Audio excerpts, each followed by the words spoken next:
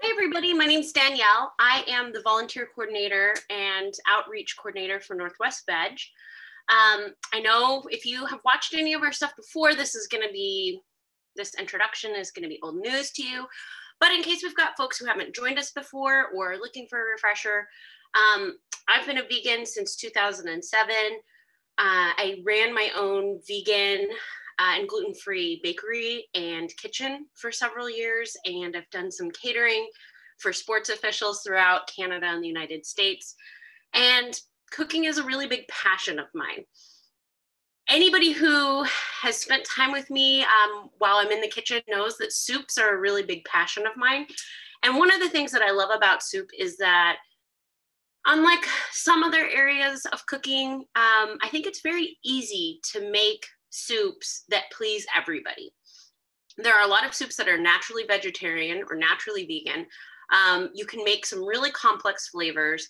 And it, there are plenty of soups that somebody isn't expecting meat to be in. And if they were expecting meat, we have some um, different ways that we can create, put, diff- put different proteins in there. Um, but really, what makes your soup so often is our broth and our base. So that was one of the reasons why um, we wanted to do something that was focusing on soup bases. And so today I'm going to be going over a couple of different experimental approaches that we can take um, for making more complex soups. This is kind of a soup 101 foundation. So first thing before I do anything else, I'm going to go ahead and take out some veggies that I've had roasting. Yes. Okay. So the first thing I want to cover is our vocabulary because if we don't all agree on what we're talking about, it's going to be challenging for us to be able to build off of that. So the problem is that even in um, the culinary world, even if you are going to a culinary school or you're talking to seasoned chefs who work in the industry or who cook a lot at home, there can be some disagreements when we talk about a soup base, um, when we talk about a soup stock or a soup broth. I'm going to give you some rules of thumb, but just recognize that when you're sifting through recipes, when you're looking at stuff online, when you're reading stuff in magazines, just because we have come to this understanding of what we're going to be defining stuff as today, that doesn't mean that the writer of that blog or who's creating that recipe has come to that same understanding um, because it it's still up for debate. Um, but typically speaking, um, as a rule of thumb, see what I did with my examples here, um, a soup base is going to usually be something that is very, very, very thick. It's going to be um, almost like a, a briny paste. So for folks who have ever used like Vegemite, um, I'm trying to think of anything else that would be this like salty, flavorful paste. But I'll show you an example. This is better than bouillon. Um, and it's actually pretty loose because I got the garlic kind, but I'll show you the texture here. And you can see it almost has like a jam like spread, right? Like a big old blob of it is hanging onto my knife. So, what we have here is it is so incredibly concentrate, both in the flavors and in the salt content, that it is a little bit of this goes a long way. So, this is something that you would just be using, tossing in. Um, in fact, they recommend one teaspoon um, for would create one eight ounce can of soup. So very, very little goes a long way. And just in case people want to see the brand here, see. Um, yeah, it's better than bouillon. So they have a vegetable based one. They also have, uh, this one is roasted garlic, which I'm really excited about. I hadn't seen that before.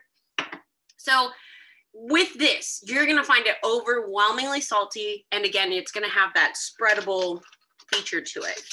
Now, stock, traditionally speaking, if you were to talk to someone at a culinary school, stock is something that is almost always involving animal parts.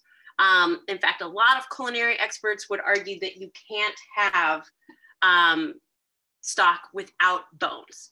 And the reason why that is, is because you, you're taking all the same ingredients that you would for making a broth. You're taking your carrots and your onions and all of these other things, but you are slowly simmering it with the bones and the collagen and a lot of the parts of the bones are coming out that fat.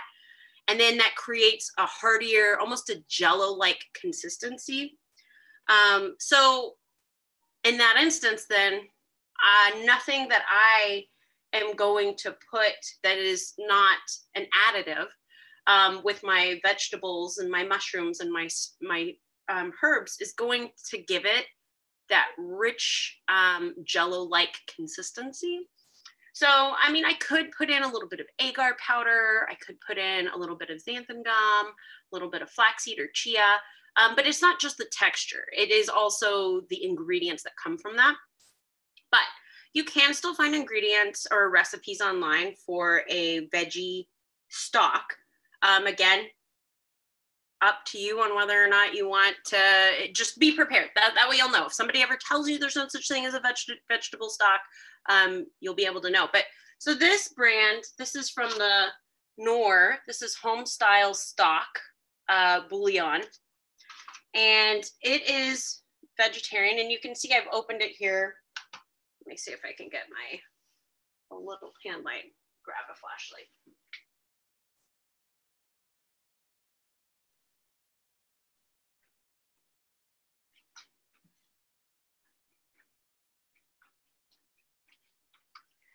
That way you can see like so it's it's pretty it's pretty jello-y right? Like just kind of stays in its container. Um, so it is also very thick. It's got that jello jiggly if i were to put it on a plate here. This lid. If i can get it out without breaking it up too much we would see that it's going to keep its shape which is what you would expect for a stock because it should have those fats in there. Yeah. Mm, yeah, so you can see it's just stayed in its little, little shape there. So um, I believe this has palm oil in it that is, yes. So they've put palm oil and tomato paste in it um, to give it that extra shape. Um, and I think that they've just added a little bit of extra herbs and spices to give it more depth to the flavor. But so that's um, that's what we're talking about when we're talking about a base, when we're talking about a stock. And then a broth is any you can make a broth out of stock, you can make a broth out of base, you can also just make a broth. So a broth for good rule of thumb is for sipping, right? Like the broth is the final product of something that is watery it is comprised of flavors that you have steeped in it. It's basically like vegetable tea. Um, and then the stock is the concentrate version down for that. So that's what we're working with today. We're going to be talking about a couple of different options that we can do to make versions of a base um, or a broth. And then from there, you can build onto it to whatever you want. What I really want to emphasize as we go through this is that there are vegetables that I would advise avoiding. Um, last week when we did the sauce series and we were talking about using wines in our sauces, we talked about avoiding um, anything that was too like a rosé or too fruity. Um, and we also talked about avoiding wines that had been aged in oak barrels because that steeps out and then it gives everything an oaky flavor. There are vegetables that can do the same thing. So it depends on what you have envisioned for your broth or your stock um, or your base. And that's going to kind of drive what vegetables you would want to put in it. There are, of course, some main players that would be found in almost all of them. Um, but we'll just kind of go through and I'll give you some, some do's and don'ts depending on what you want.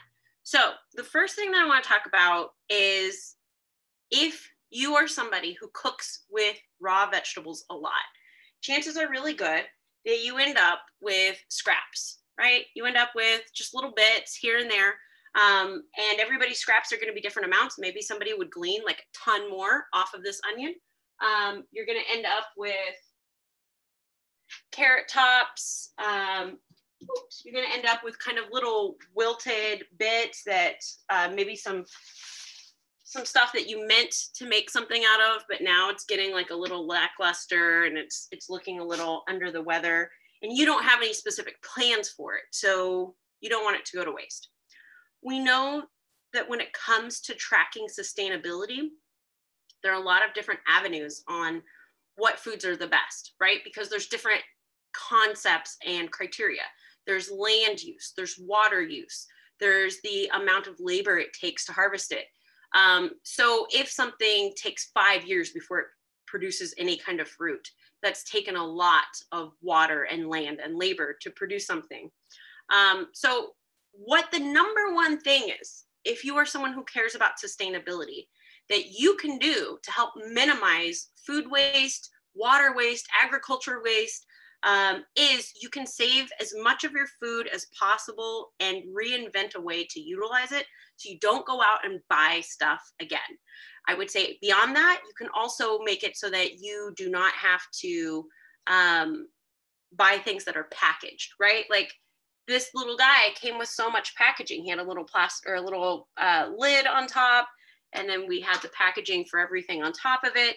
Um, so if we're able to be in a position where we're minimizing going out to the store and buying something new altogether, and if we are able to minimize um, having to buy something for packaging, then we're going to be in a great situation to helpful, hopefully minimize having to give that dent to our sustainability goals. The one, one great way to do that is when we have these scraps,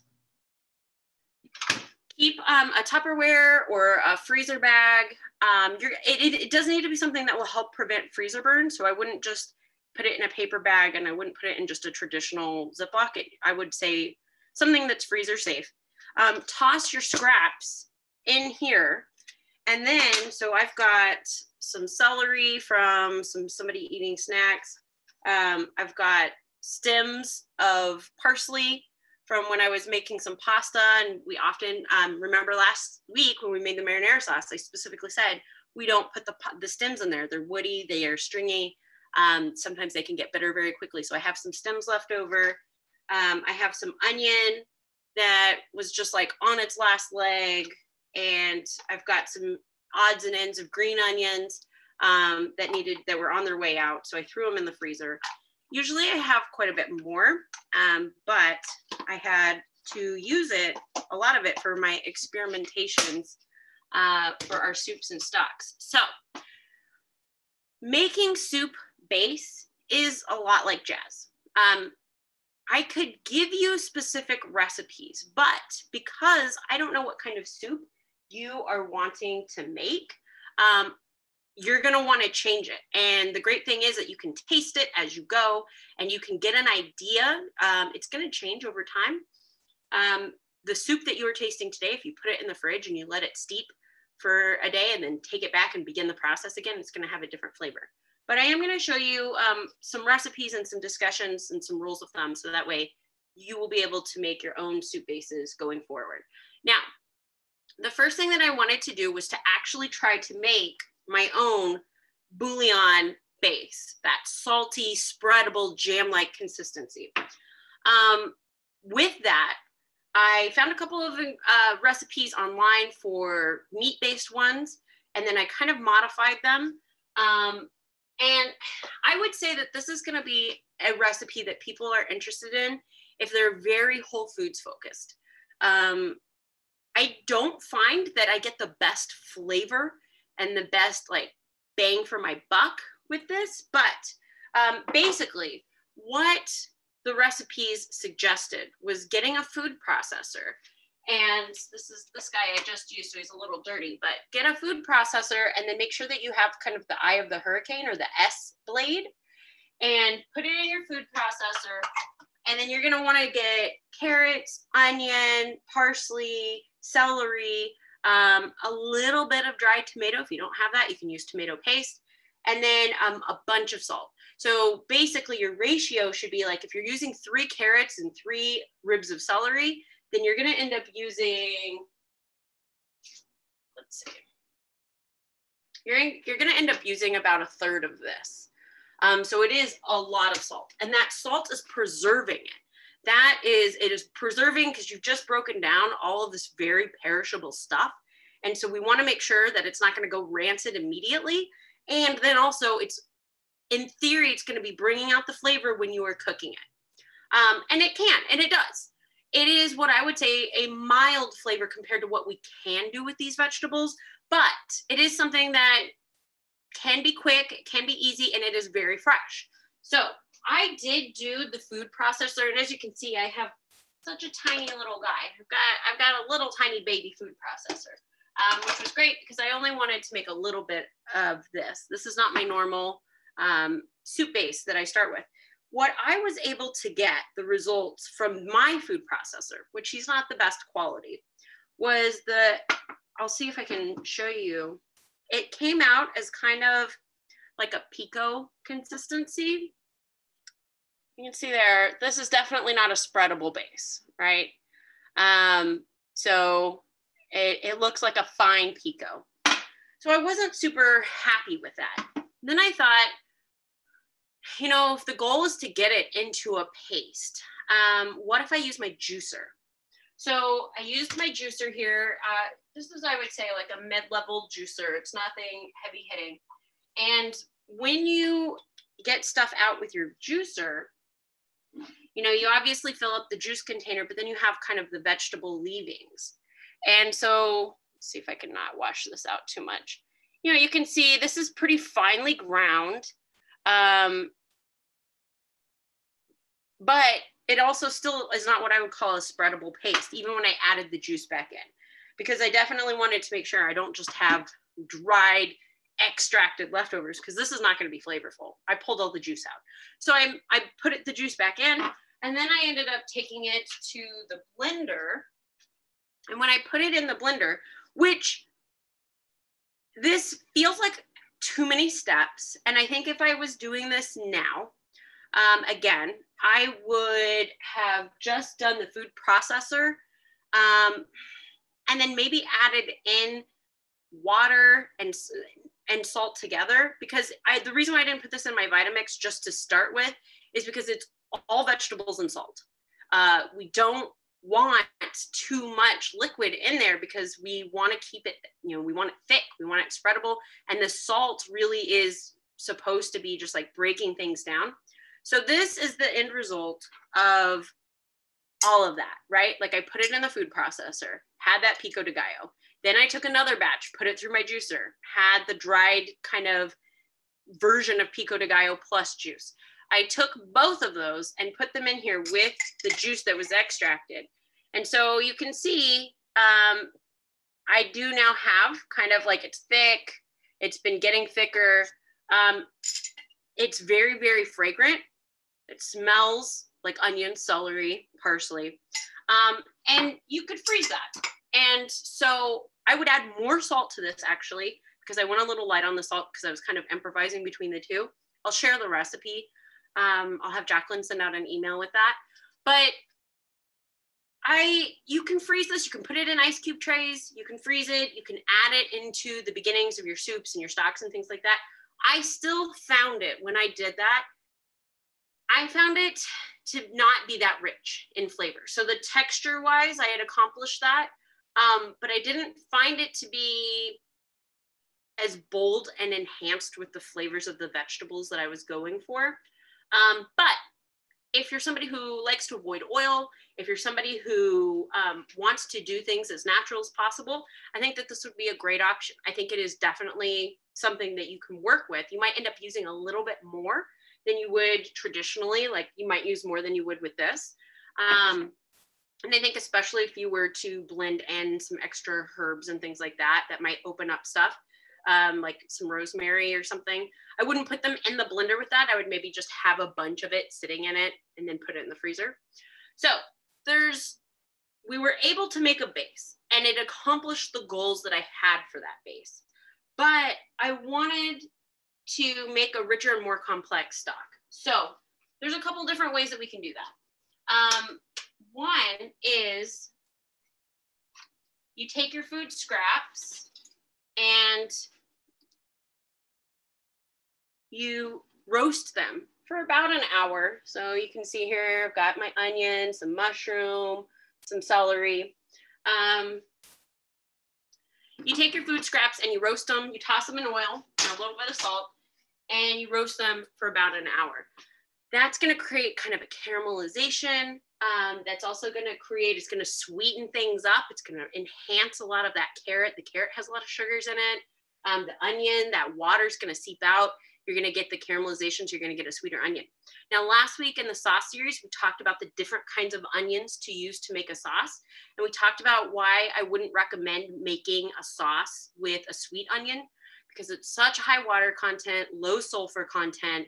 It's already very sweet. When you're caramelizing or you're making that sauce, you're not getting a lot of benefit out of it. In fact, you're you're blanding it up.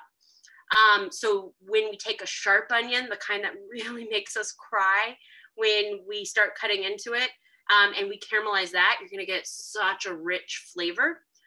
When we're making um, a broth, we can be a little bit more forgiving when we're making our broth or our stock because it scraps, right? So if you are using, if you use sweet onion all the time, because you absolutely love it in your salads and on your sandwiches and things like that, and then you think, boy, Danielle told me not to use um, sweet onion when making sauces. So I guess it's not good for that. I mean, it's not going to matter. We're just, this is number one to make delicious foods with, but number two, it's a great way to use up those leftovers. So add it in. If it's all sweet onion, I do think you're going to have a little less punch with it because um, sweet onion, as we talked about, just doesn't bring that punch nearly as much. But um, I think that there's no reason why it can't have some of it in there. So what I am going to do is I'm going to show you the two different other methods that we can make a soup base and talk about the differences between the two and talk about the differences between the base that we just did um, using the blender. So the first one is I've got my roasted veggies. Um, this is if you have the time. If you're somebody who loves to do food prep and this is your Sunday activity, and or you know if you're making enough of the broth you only need to do this once every couple of months you know depending on how much you use the broth.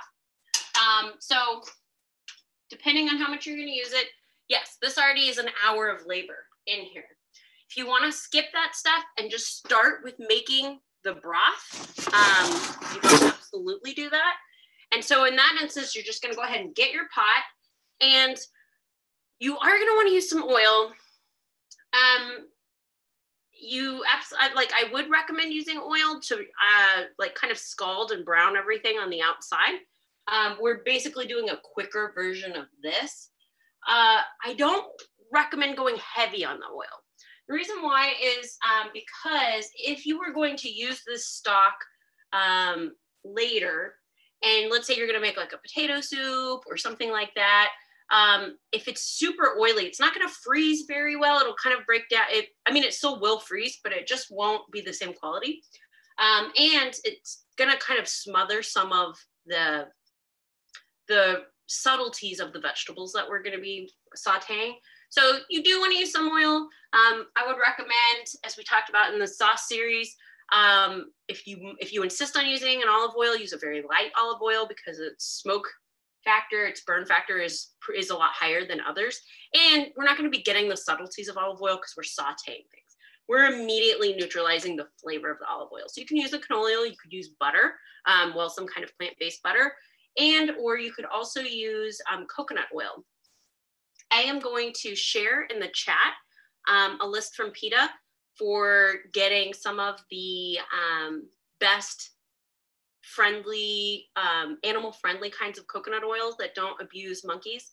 Um, I don't know if anyone had heard, but there are some coconut product companies that utilize basically slave labor of monkeys to pick the coconuts. So uh, it's important for us to kind of take a look and see where we can get our ethically sourced coconut oil. So I'll share that in the chat um, in just a moment.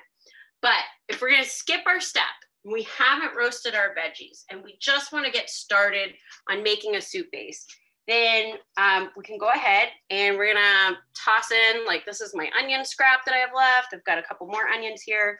Um, we can toss in after we've heated it up and we got the oil hot. And we're not gonna saute it too much because we're not putting this on pasta. We're not trying to make this delicious to eat now. We really are just trying to get the sugars coming out. If you've ever been in a situation where you have maybe like eaten um, a dish where you thought, oh, this is gonna be so good. It has pepper and onion and parsley and, and basil and it's gonna be so good. And then you took a bite and it kind of tasted like Froot Loops. And what I mean by that is like every bite just had the same generic combination. And instead you were like, I couldn't tell you that there was red pepper in this. I honestly couldn't taste it. It just had a vaguely pepper-esque, vaguely onion-esque, um, herbed combo. Um, when we, that's kind of how I felt with this version um, because we hadn't broken down the complexities of this. And so I felt like it, this has a vegetable taste, but it's very nondescript and it isn't very in depth. So you just take whatever scraps. You can take carrot, onion, um, garlic is a good one. Here's where I'm going to dive into the no-no vegetables, or at least uh, stop and think about what you're doing vegetables. Um, you definitely don't want anything that is too bitter, right? Like you're not going to want to put arugula. Um, there's a lot of greens, like mustard greens can get kind of bitter. Um, you wouldn't want to be doing that. I did not put my herbs in here yet, just because as we talked about in the sauce series, uh, if you cook herbs on a very high heat with oil for too long, they can get bitter. So right now, I'm not, and I'm not going to try to caramelize parsley. That's, that's just not a thing. So right now, I've just got um, my celery, my onions, my carrot, and I'm going to toss in some mushrooms as well. So you want to avoid something that's bitter. Um, and I would say, adding to that, if your table scraps have cabbage related plants, um, or like anything from the cabbage family. Broccoli, you can get away with if you are looking for a broccoli flavored um, soup. But broccoli is one of those things where you might be making a nice vegetable soup and you want it to have like, mm, I want you to be able to taste that carrot. I want you to be able to taste the onion. I put in a little bit of tomato broth. Um, I really want this to be good. And then you put in broccoli. Now it all tastes like broccoli. And now it tastes like mostly broccoli with maybe a background hint of those other flavors. So you, if you are looking for that, like you're going to be making cream of broccoli soup all the time, um, or maybe you like having like a creamy broccoli risotto, then absolutely use your broccoli scraps. But if you're somebody who's trying to make a multifaceted broth because you're going to make it to use in things all month long, then I would advise um, against doing that. So while this is browning, what am I going to do with these guys? Well, um, I am going to go ahead and we don't have to saute these because uh, they're already in a situation where we've already done all this work. We did it over a period of an hour. So I'm going to add water to it because we also want to get the brown sauce that kind of got down on the bottom. Um, that's, we want to kind of deglaze this and that's all the good stuff. That's the caramelization. That's the complexities and the richness, the mushrooms left, the onions left. So I filled my skillet with water. And now I've taken, uh, you can take just any kind of non-abrasive thing, just kind of stir it around uh, and try to work off anything that's peeled to the bottom. And then just kind of stir it around and make sure that we get any of the good liquid off of that. And I will show you how, what a difference it makes. So this is water from that skillet, right? So you can see um, it's we're we've got a lot of flavor there. We've got a lot of browning and a lot of caramelization. We don't want to miss out on that flavor. So I'm gonna go ahead and take it. I'm gonna put it in my pot over here and add it. Um, the amount of water is not super important because you're going to be reducing it down over the next hour anyways. I would just, but you can always add more. So um, I'll show you how much I added right here. You know, I would say it's about half full. Um, and so I'm gonna go ahead and put that on there. And I'm gonna add a bay leaf to both of these. This, I'm gonna give another quick stir and see if we've got stuff caramelizing. Looks like stuff is coming along. They're getting kind of sweaty right now. Um, and by when somebody says to like sweat your onions or um, to sweat your carrots and onions, see if I can get a good example here.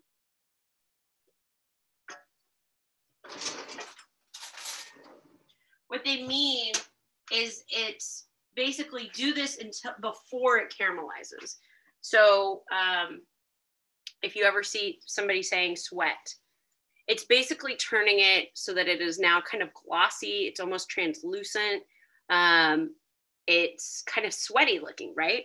So if we compare this to, let me turn this around so you can see the color of purple. Here's a raw onion, you can see. And then here it is, it's been cooking long enough so we can see like this guy's been sweating. He sweated off some of his purple. He's a little translucent.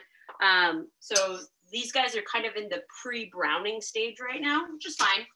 Um, and you'll also notice I didn't chop everything up into really small pieces. You absolutely can. Um, it's up to you. If you have leftovers that you just threw in a bag and you're getting them out, you can also leave them in big chunks. We're gonna be steeping this for so long that it's gonna make not gonna make the biggest difference. So it's just your preference. Going back to the no-no list, I also, you'll notice I haven't put potatoes in either of these. There's a couple reasons. One is if I was going to turn this into a soup right now, um, and let's say that I wasn't just using scraps uh, because these are ultimately going to be the solids will be removed from our base when we're done with this. Um, but if I were going to actually use this and make a vegetable soup, I still wouldn't put potatoes in this right now because we don't want the starches in the potatoes to break down and start coating everything. We don't need the potatoes to be browning. They're not going to caramelize um, like the onions and the celery and the carrots are. The sugar in them is attached to a starch compound, so it's it's just not going to react the same. It's actually going to kind of inhibit. It'll start sweating a lot of moisture, and things won't brown. They'll just kind of like sit in a very mild bath of potato sweat, um, while your potatoes are going to start to get kind of gummy and starchy. So we don't brown potatoes with other vegetables. Um, rule number one.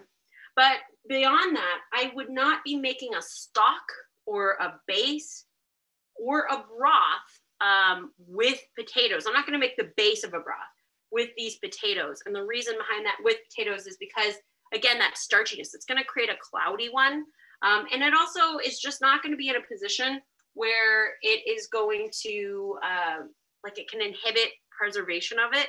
So I don't particularly like using potato in that. Again, if you're going to be making cream of potato something, or you want to add this to um, a risotto, or you want to add it to your mashed potatoes, you could put potato in here. I wouldn't do it at this step, but um, I just don't find it very, it's not that useful. Now, one ingredient I am going to add in here in just a second is a leek. And for those of you, you can see like this guy, he's he's on his last leg. He needs to go. He's got some rough ends. Um, and for those of you who haven't cooked with a leek before, they're pretty interesting. Um, they are very similar to onions. They're in the same family. Um, but what we need to know when we're doing food preparation with leeks is that, you know, when as soon as it starts growing up out of the ground, people bury the top of it with sand. And that's why this is so white, um, is because this has not been exposed to the sun. So that means that the layers of leeks are incredibly dirty. You know, just like the same with how we treat, we have to thoroughly wash our green onions. This is very much the same. So uh, you can see just how dirty uh, leeks are. And so it's really, really important that you wash them and that after you chop one, you wash your cutting board and you wash your knife um, because you've got a lot of contaminants when it comes to leeks. Now, when we make our soup base, we can, unlike when I would cook, uh, if I was making a soup with this as the ingredient, like a leek onion soup or leek potato soup, I would not use these tough leathery tops. These are not good for, they don't make the best eating, um, but I can use them in this because I'm just getting flavor out of them. Um, so I'm gonna go ahead and rinse this guy off. I've got a special cutting board just for him. So that way I don't cross contaminate things. And the only reason why I might not use um, all of the green part is if it's just too dirty. A lot of dirt lives up in that top part. So it's very easy to just kind of feel like, well, that's just not worth it. Um, so you want to wash these when you're washing your green onions or you're washing any kind of leek or things like that. You want to wash them with cold water. Um, you don't particularly want to wash them with warm water just because it can kind of be good for any bacteria that you're trying to kill. We're going to kill it so quickly on our stove top, so I'm not too, too worried about it. So you can chop this up or you can just peel it. It makes it really nice and easy to make sure you got it all clean. And you can just throw it in there and I'll throw one in here. Um, the leek is really good when you roast it. It gets a lot of really complex flavors. So it does a great job when you roast it. Unfortunately, I didn't have it on me when I was doing the roasting. And if you rinse it thoroughly enough, you can use the little butt end if you want. Um, I have not soaked it in vinegar to kind of scrub it and everything, so I'm not going to use that. But there's a lot of flavor in the ends of your green onions and your leeks. So this has been this has been caramelizing now. It's been kind of sweating. Um, I can see that my onions are getting brown. My carrots are sweating nicely. So now that I've kind of done a fast version of this, I'm gonna add water to this guy as well. And it's gonna be water and salt. The salt's gonna be pulling out the flavor of everything that we've just been sauteing. If you just do water, um, you're gonna be in a situation where you're just not going to get as much flavor. Um, it's gonna be a very weak veggie tea. One thing I wanted to note is um, I am using salt. I am not using MSG, which is what I bought from our bulk store. The reason why I'm not using MSG, I love MSG. It gives you an umami flavor. Um, it's a wonderful, wonderful flavor enhancer on a lot of different levels. And you absolutely can use MSG later. But I don't cook with it in an instance to try to bring out natural flavors. MSG brings its own flavor and it complements other flavors. Salt actually on a chemical level pulls flavor out of other things, um, which is why you see salt in baking ingredients, right? Like you end up thinking, why would this blueberry muffin need salt? It is pulling out and, and enhancing the flavors of the blueberry and of the vanilla. Um, and even more so, again, it's a preservative in this instance. MSG is not going to be a preservative for you. So um, I could absolutely add some MSG at the end to taste, but from, for right now at this step, we are using um, salt. So some of the other no-no um, things, like I had started with cabbage, I would not put cabbage. Cabbage is 10 times worse than broccoli. Everything will taste like cabbage. Um, potato we had covered. Sweet potato, the same thing. Sweet potato even more. It breaks down so quickly. Um, it's going to end up turning into a very weak potato soup with a bunch of other vegetable chunks. Beets will turn your soup base red. Maybe you like that. Maybe that's something that you would like to have. Um, but it can also add kind of that earthy sugar taste to everything. If I were going to use it, like maybe I wanted to make a soup base for borscht or something like that, and I love uh, beets, I would caramelize them. I would have chopped them up and I would have certainly roasted them if I have the time. Because if you're someone who enjoys beets, you would know um, when you roast them, it just opens up so much flavor. They are great for that. Um, if I didn't have time, I would have sauteed them. So right now, um, I've got everything. It's primed to probably start boiling in about five minutes or so. Um, my smaller guy, because he has a little bit less water in him, he's probably going to start boiling in a couple minutes. And once things start boiling, I am going to go ahead, turn it down to a simmer, and just have it be like a very low active simmer. And then I'm gonna toss in my herbs. Um, on the herb section, I would use, I mean, parsley is a given. Absolutely. It's great because it's um, uh, it's a seasoning that you're going to want for pasta sauces, for salads, for all kinds of things. So we end up with a lot of leftovers and or you may not need all of it that you bought. So just toss it in the freezer and save it for making soup stock or soup base with. Um, thyme is another really good one. I would not put rosemary in it.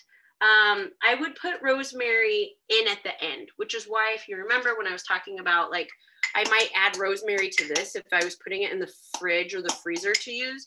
Um, I wouldn't put rosemary in it to boil just because rosemary, um, if any of you guys have ever walked by a rosemary plant or like brushed it, and then, oh my gosh, it's so aromatic. Um, it, it has pretty active oils in the actual rosemary rosemary stems um, and in the little pine leaves that they have. So it has a pretty active oil. And if it is exposed to high heat for a long period of time, one, the oil is going to permeate everything. And so then everything's going to have a pretty intense ro- rosemary flavor. But two, similar to that oak aged barrel wine situation, uh, we would be in a situation where it can get bitter so if you want to use rosemary, put it in at the end.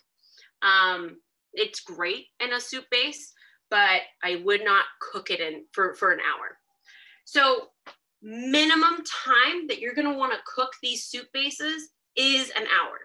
If you rush it and you did like 40 minutes, you're going to end up with something that does taste like vegetables, but I would say that it's going to taste about as weak as some of the store bought vegetable broth. Um, I really like Imagine brand, but I have gotten their vegetable broth in the past and it it tastes like a weak vegetable tea. If you're looking for something that's a soup base, that's going to be packing kind of a punch that you're just adding in maybe to pasta, um, maybe to a stir fry, maybe um, to anything else to another kind of soup just to add an enhancement of flavor and some pop and some robustness you would not want to have weak vegetable tea. So in that instance, you're going to want to cook it for a minimum of an hour. After you've cooked it for an hour, then you can be done. Um, the longer you cook it, there's kind of a bell curve to this. Um, I would say if you cook it for anywhere between one and three hours, you're going to get more flavor. Just like any kind of sauce, as we reduce it and we reduce it, and as the water level is going down due to evaporation of us cooking and simmering it for so long, what is left is more and more concentrate flavor. So um, absolutely, you're gonna get you're gonna get a benefit to that. Once we go past that three hours, I personally have found I don't taste the difference. I can't taste the difference between a three hour and a five hour simmer. What I can taste the difference is a three hour, one to three hour simmer. Let it sit overnight. Um, let it cool to room temperature. Toss it in the fridge uh, get it back out and then finish the simmer or add another hour to the to it. So you could do it on an hour on the stove, room temperature cool down, toss it in the fridge, get it back out, do another hour simmer. That I can taste more. It had all night to steep in these broken down, opened up vegetable cells. They're releasing all their flavors. And it isn't in a situation where it's like, hurry, hurry, hurry. Um, in the sauce series, again, we talked about how oftentimes the sauce can taste more complex and we let it sit for up to 10 minutes because things are still unlocking, they're blooming. So if we give it all night to bloom and then come back and finish unlocking things, you I can taste the difference between that. So um, I can see this guy, the oven roasted broth, he is brewing. This smells amazing. It smells like a beautiful vegetable stew. I can tell, I can smell the richness of the mushrooms. Um, if I wanted to add a little bit more depth of flavor um, and get some more saltiness in there, I've already salted it for preservation and for chemical reaction. Let's say that it is done with its hour long uh, simmer because I am, I've turned it down. I'm gonna add in a bay leaf. Um, we're gonna do a bay leaf and then I might end up, at, now that we're at the simmer stage, as soon as we are done with that, um, I might add, as soon as we get down to simmering, I might add some thyme. That's always really good as well. Um, now that this guy is at the simmer stage, I'm just gonna go ahead and toss in my herbs. If this was down um, and it was done and I was saying like this is on the last 15 minutes of it simmering, then um, I would be in a situation where I would be tasting it and trying to decide how do I want to open things up or add boldness to this. I I think that let's see if I have any here. Yeah. Bragg's is really good for that. Um, I really, really like using Bragg's for high temperature cooking. Uh, I prefer using soy sauce or fermented soy sauce when I'm using things on cold. If I was doing like a steamed vegetable that I had let chilled and I tossed with like a sesame oil, I would use a fermented or a chilled soy sauce for that. But if I'm stir frying something, I like to use Bragg's and same with a sauce or a soup. So if I taste this, it's at the end, it has maybe 15, 20 minutes of the simmering left. I still want a little bit more saltiness and I want kind of a deeper punch. Um, Bragg's can give you a lot of that umami. You could also put in um, a little splash of wine. Again, same rules as with the marinara sauce. I would not use um, something that's too fruity because otherwise you're going to end up having like a oh wow, did you put strawberries in this broth? Um, we don't want hint of cherry. We don't want hint of fig or anything like that. We want something that's pretty dry. Um, so you could put in a wine and that, um, or you could also end up, just stir this a little bit. Uh, tomato paste is one that I would really recommend. There's a couple different approaches you can take. Um, I've got, I've got some tomatoes that are past their prime, some little cherry tomatoes floating around here somewhere, um, I can absolutely throw those in and let them just start cooking. I would do that now if I knew where I'd put them. I tuck them away somewhere. Um, you can cook them in now. Uh, you don't want to put too much fresh tomato in. Cherry tomatoes are great. Oh, here they are. Because they don't have a lot of big seeds and everything, but you know, like this guy's looking a little weathered. He's a little pruny looking. Um, so I'm just gonna go ahead and pop those into this bigger one. If you are looking for a hint of robustness and richness and you're looking for a darker broth because you're gonna make maybe a minestrone with it, um, maybe you're gonna make like a, a beef and barley type soup with it, something like that, then I would absolutely recommend putting in some sun-dried tomatoes or putting in some tomato paste to taste. Probably like at most a tablespoon. If I was doing a pot this size, I would do a tablespoon at most. A little bit's gonna go a long way. And I would do that the last 15 to 20 minutes of my first boil. Um, otherwise, I think if you put it in too early, it can get bitter. If you put it in too late, it's not gonna unlock things. It'll just kind of like clump down. It needs to be in kind of enough that it can break up and it can start to breathe and bloom. Um, so I would put in some tomato paste with that. And then you can also always put in just raw peppercorns. You can crush pepper and put it in there as well. That's always really good. Um, I really like to use different kinds of peppercorns.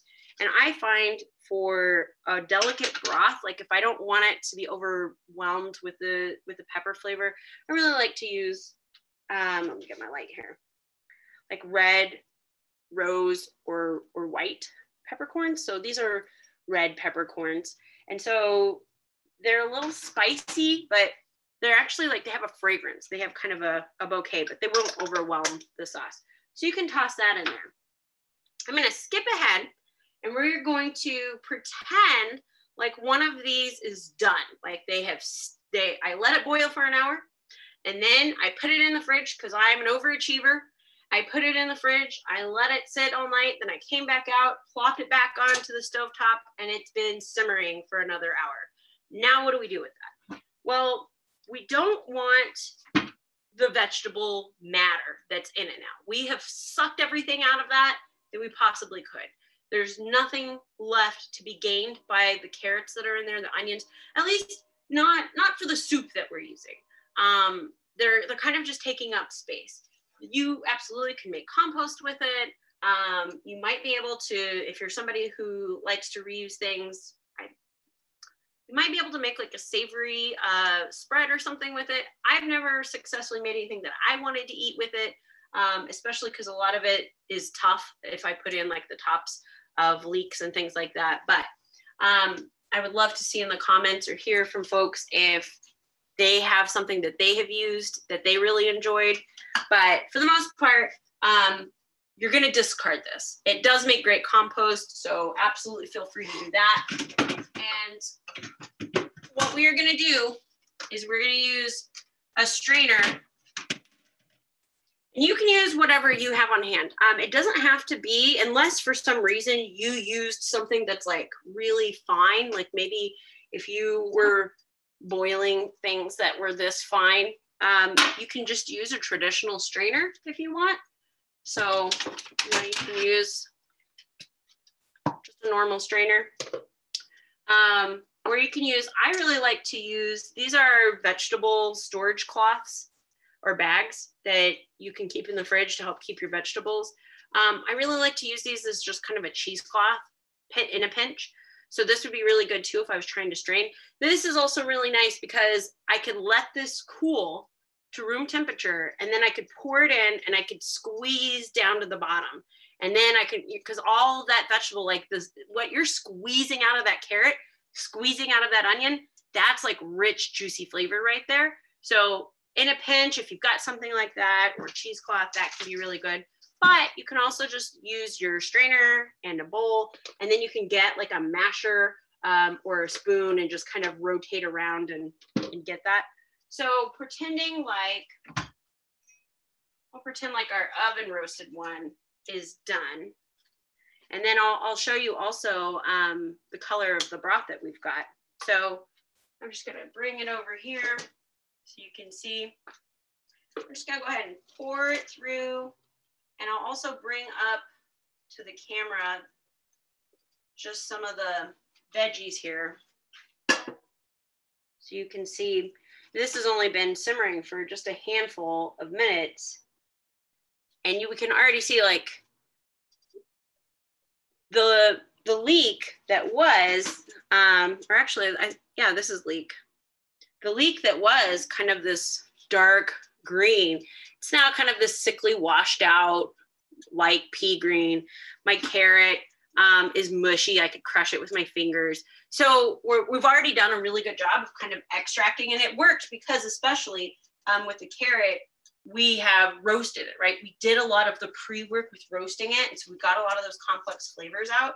And then, so if I wanted to, I would just kind of mash this, uh, maneuver this around so that way I'm getting some of those flavors that are still locked in there. And then I'll show you in a little tasting cup here what our broth is like. Looks like. So, yeah. And it's not too salty yet. So if I wanted to take this and I wanted to turn it into a bouillon, right? Like a bouillon cube or like this soup base, um, I would then add more salt. And I wouldn't add so much that then it's a spread, but I would add more salt and then I would just go ahead and let it room cool to room temperature I would go ahead and put these in ice cube trays and freeze them. And then once they're frozen, pop them into a Tupperware or a bag. And then you can just take them out. So you don't have to end up being like, oh, I have to defrost this entire big Tupperware um, just so I can get a jar's worth. Um, then it really is great for throwing into your pasta water, throwing into your beans while you're making something, throwing into your chickpeas or your lentils. Um, so right now this has kind of a sweetness to it. I think it's from the carrots um, and maybe a little bit from the leek. The leek can be quite sweet too. Uh, I definitely absolutely would add some Bragg's to this and a little bit of tomato paste. That tomato paste is going to keep it sweet because that tomato paste has quite a bit of sugar in it. Um, and I think I would add maybe a splash of a dry wine or a vinegar to kind of brighten it. Um, but certainly that taste does tell me this is not done. This is not ready. It tastes like a sweet hint of a complex vegetable tea. So I'm gonna go ahead and add it. Since I'm done, I'm gonna add it back into just this main one. I don't need to have all of the pots brewing all of my vegetable teas. This guy just started simmering not too long ago. I'm gonna go ahead and share the link to that PETA um, food friendly coconut so that you can know what brands to get um, so that you aren't exploiting monkey labor. Does anybody have any questions or any tips or suggestions that you think that I missed in making soup bases? And I just put that link in the chat.